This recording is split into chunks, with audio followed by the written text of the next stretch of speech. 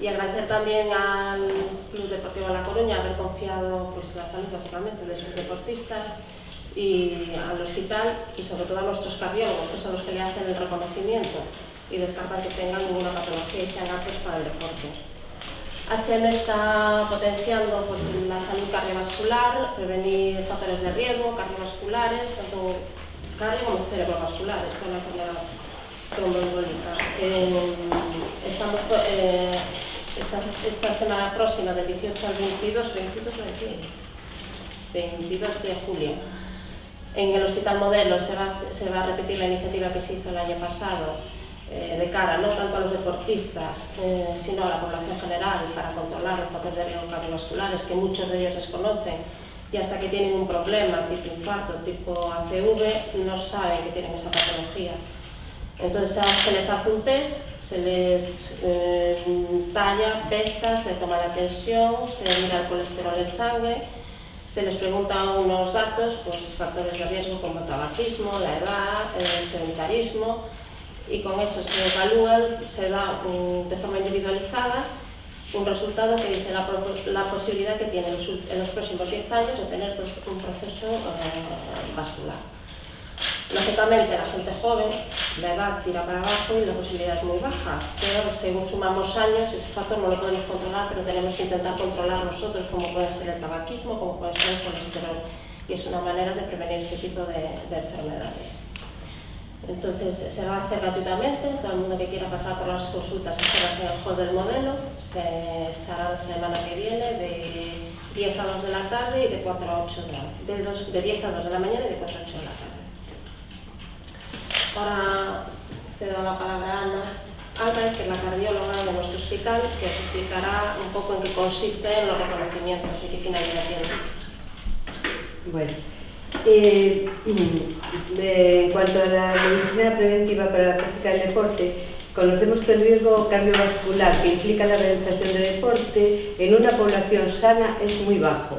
Por lo tanto, es prácticamente insignificante. Por lo tanto, es muy importante identificar una enfermedad cardiológica subyacente que puede pasar desapercibida. Y la complicación eh, más grave que puede suceder es la muerte súbita, que tiene un gran impacto emocional. Entonces, eh, se, propone la realización de un estudio cardiológico básico, eh, que en alta probabilidad con este estudio se descarta eh, la existencia de cardiopatía subyacente y se baja mm, consecuentemente el riesgo. empezaremos con una historia familiar muy detallada y personal. Familiar es altamente importante en determinadas patologías cardíacas. Seguimos con la exploración física exhaustiva, Luego un electro de 12 derivaciones que también descarta en gran parte muchos, eh, muchas patologías y un ecocardiograma Doppler color. Eh, finalmente, como paso final, eh, se hace una ergometría sobre todo en las personas mayores de 35 años, en las que la muerte súbita viene... Mm, o sea, su patología subyacente más, eh, más frecuente que les puede originar muerte súbita es la cardiopatía isquémica. Bueno, en algunos casos pues, se requerirían exploraciones más avanzadas, como podría ser la, una resonancia, un holter para detectar arritmias, eh, incluso los deportistas tienen algunas eh, variaciones nocturnas que solo se detectarían con el holter que entrarían a veces dentro de la normalidad. Se podría llegar incluso a hacer un estudio electrofisiológico, un cateterismo. Todos conocemos casos de deportistas que, han tenido que hacer estudios muy complejos hasta que se les permite o no se les permite hacer deporte o se les retira definitivamente. Resonancia es un arma también muy importante en una patología que puede dar muerte súbita y pasa desapercibida, que es la displasia ritmogénica del ventrículo derecho. Si el paciente necesita un, si el paciente realiza un ejercicio a nivel alto o va, a, participar en competiciones, pasamos ya a la medicina deportiva, que, mm, sirve también, aparte de para prevención de, muerte súbita y detectar patología, eh, sirve para, planificar el entrenamiento y eso se lo dejaremos eh, al doctor Barra. En deportistas jóvenes eh, la patología más frecuente puede ser una miocardiopatía hipertrófica, orígenes anómalos de las arterias coronarias, eh, síndrome de cute largo, todos, todos estos producen arritmias y, y, se detectan fácilmente. En cuanto a la segunda parte de, de lo que realizamos en este centro, eh, es la rehabilitación cardíaca, que, va encaminada a la introducción de la actividad física precoz después de un evento coronario, como puede ser una angina de pecho o un infarto. Se ha, demostrado con el paso del tiempo que esto produce muchísimos beneficios, tanto físicos, porque el paciente se pone en forma, como psicológicos, porque el paciente eh, todas las inseguridades y todos los problemas, eh, los miedos que tiene se puede superar con la colaboración de, del programa de rehabilitación cardíaca. Este programa se, eh, se abarca de una manera global. Necesitamos ayuda de fisioterapeutas, neumólogos, psicólogos, es un, es un modo de abarcarlo de manera global. Lo hacemos habitualmente en tres fases, mm, por distribuirlo así. La primera fase es una fase hospitalaria. El paciente sale conociendo unos ejercicios básicos respiratorios y haciendo ejercicios de baja intensidad, de baja carga. En la segunda fase, que es la que se hace en este centro, se programa un, ejercicio personalizado en base a una prueba de esfuerzo que se hace basalmente, que se, le, bueno, se le realiza también ecocardiograma y sobre esa prueba de esfuerzo se, programa mm, su, eh, su, plan de ejercicio. Se hace a lo largo de 12, semanas, 12 sesiones que se distribuyen tres días a la semana en dos meses. Eh, como insisto, que se adecua a las características de cada paciente, sobre todo porque suelen ser pacientes que llevan medicación y no, no suelen, hay que basarse en sus condiciones, sus propias condiciones, el estado en que ha quedado el corazón y todo eso. Y la tercera fase eh, ocupa el resto de la vida del paciente. Entonces, todo lo que aprende aquí en la segunda fase lo va a poner en práctica él en su casa va a tener buenos hábitos, eh, ejercicio controlado, sabe cuándo puede parar, cuándo no puede parar, qué síntomas tiene que, atender y todo. Todo esto mm, para el resto de su vida, porque la enfermedad coronaria es una enfermedad eh, mm, progresiva, que se tiene para el largo de la vida. Al final del programa de ejercicio se repite la ergometría y se le da al paciente un informe completo y unas instrucciones básicas para que eso.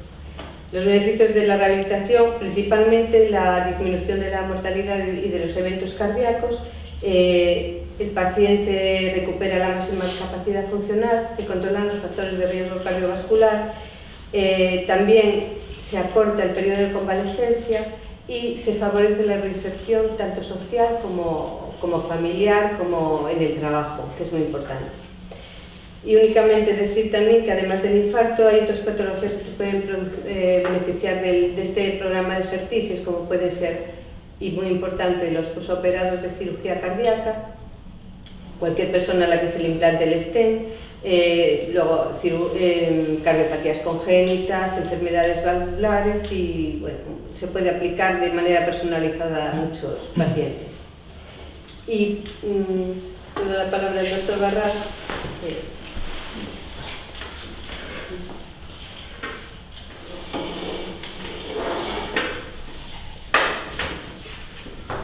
Buenas tardes. Eh,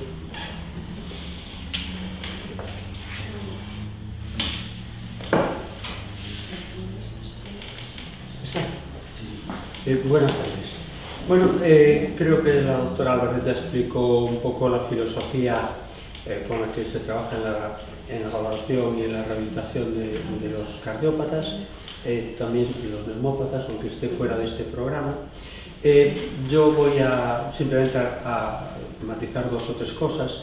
Eh, primero, eh, indirectamente, ella fue explicando los efectos beneficiosos del ejercicio en los pacientes con cardiopatías, los efectos beneficiosos del ejercicio tanto en factores de riesgo cardiovascular como en control de sobrepeso, como en muchos otros, incluso en la prevención de alguna patología tumoral, etc., están claramente demostrados por la literatura. Y el único efecto negativo, el único punto negro, y es un punto negro muy importante en el ejercicio eh, y el deporte, es la muerte súbita.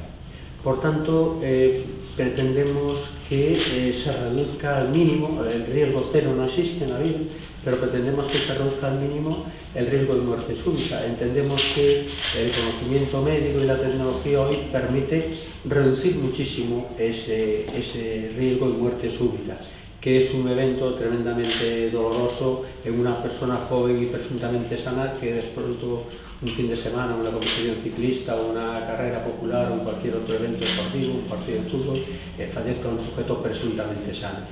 Entendemos que ese sujeto presuntamente sano hay que evidenciar que sea sano para que ese riesgo tienda a reducirse, porque es cierto que los eventos son pocos, pero son tremendamente dolorosos y yo entiendo que una sociedad avanzada como la nuestra no puede permitirse mirar para otro lado y decir que, bueno, como son pocos no, no hay que hacer mucho esfuerzo. Sí hay que hacer un esfuerzo importante.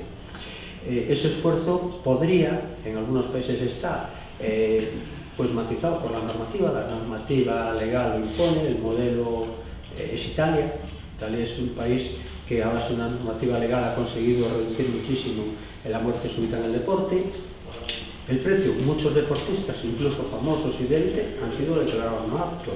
Y ya que estamos en el entorno del fútbol, cuando salió esa legislación en Italia, eh, pues Sócrates, un brasileño que jugaba en Brasil, se fue a jugar a Brasil porque en Italia no era apto, o más recientemente Canú, por ejemplo, digo, por citar deportistas de élite, ¿no? Eh, que fueron considerados no aptos, se fueron a jugar a otros países, eh, el caso de Canú concretamente acabó operado en Inglaterra, pero continuó su carrera deportiva. Eh, nosotros no tenemos una legislación en ese sentido, pero tenemos el sentido común. Por tanto, el sentido común debe imponerse y debemos de poco a poco concienciarnos que mm, con un screening mínimo, con un screening mínimo se consiguen detectar casos precozmente y por tanto evitar ese fenómeno incluso. Y por mi parte, nada más.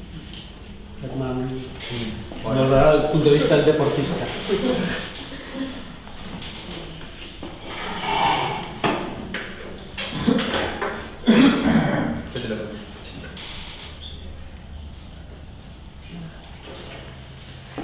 Bueno, buenas tardes. Eh, yo voy a dar mi punto de vista de, un deportista de, bueno, de, elite, de alta competición y creo que, ya lo han explicado eh, muy bien, el doctor ha, explicado muy bien. Eh, nosotros, eh, bueno, yo estoy también aquí hoy para, para hacerme los, los estudios que, siempre nos, realizan y, más que nada hacer una recomendación que no solo nosotros que somos deportistas de elite, porque han sucedido casos de, muerte súbita, como dice el doctor Barral, eh, recomendamos o recomiendo que no solo los, los deportistas, sino todas las personas tendríamos que, hacernos los estudios convenientes y necesarios antes de, una, de la práctica de, ejercicio o de, un deporte. Entonces de aquí recomendamos y recomiendo eso, que siempre hay que hacer análisis de estudios, nosotros los hacemos, lo estamos haciendo y, durante la competición también. Que de mi parte, nada más. Buenas tardes.